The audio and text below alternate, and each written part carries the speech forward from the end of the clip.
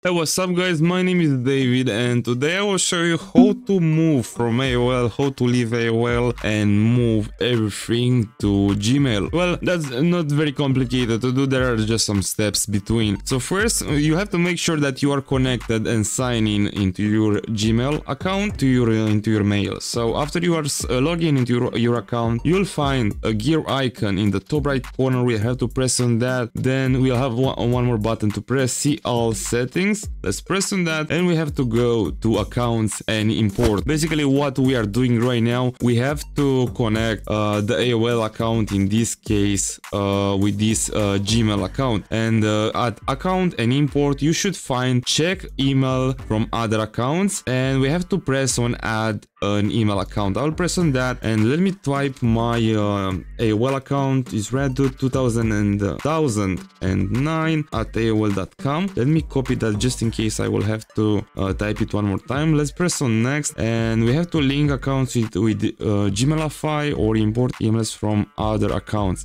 I'll uh, select the first one, press on next and normally I will just have right now to sign in into my AOL account, two more buttons and that's it. Uh, um, no, thank you for now. No, that's not the email address. I'm glad I just copied the email earlier. I will press on next. Right now, I just have to type my password. You have to, you have just to log in into your AOL account as normally, but through this window. Uh, let's see. By agreeing, you will allow Gmail to access AOL Mail read, AOL Mail read and write, profile read. Okay, sure, I agree. Let's uh, let's continue. I will give all the permissions because I want to forward and I just receive a notification you've been Gmailified. I just moved to, to Gmail. You can now manage your reddude 2009 at AOL.com emails from Gmail.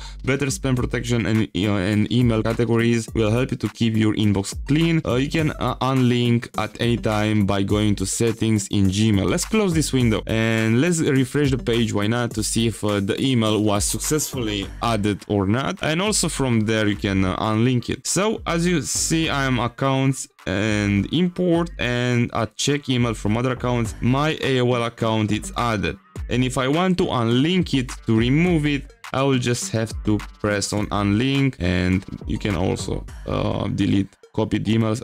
However, it's uh, is deleted right now. So guys, I really hope I help you with this tutorial. If I help you, don't forget to smash the like button. Leave a comment in the comment section. If you have any questions or something, I'll try to get to you uh, as soon as possible. Right now, I just want to thank you a lot for watching. Have a great day.